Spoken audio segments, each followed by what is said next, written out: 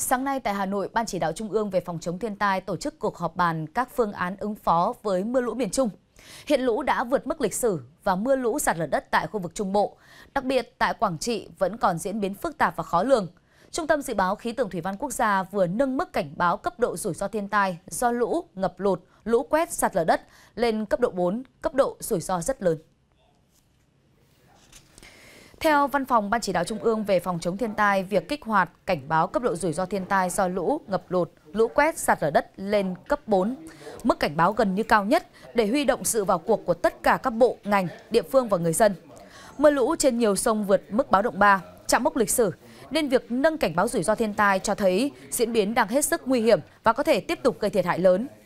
Phó Tổng cục trưởng Tổng cục Phòng chống thiên tai Nguyễn Văn Tiến yêu cầu các địa phương khẩn cần khẩn trương triển khai thực hiện chỉ đạo của Thường trực Ban Bí thư, tiếp tục triển khai thực hiện các công điện của chính phủ về phòng chống thiên tai.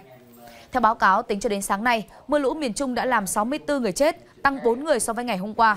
Hiện có 5 người mất tích. Riêng vụ sạt lở công nhân tại Rào Trăng Ba là 2 người chết và 15 người mất tích. Cơ quan chức năng hiện chưa thống kê các vụ sạt lở làm chết và mất tích nhiều người tại Quảng Trị vào sáng nay, nên con số thương vong chắc chắn sẽ còn tăng lên rất nhiều.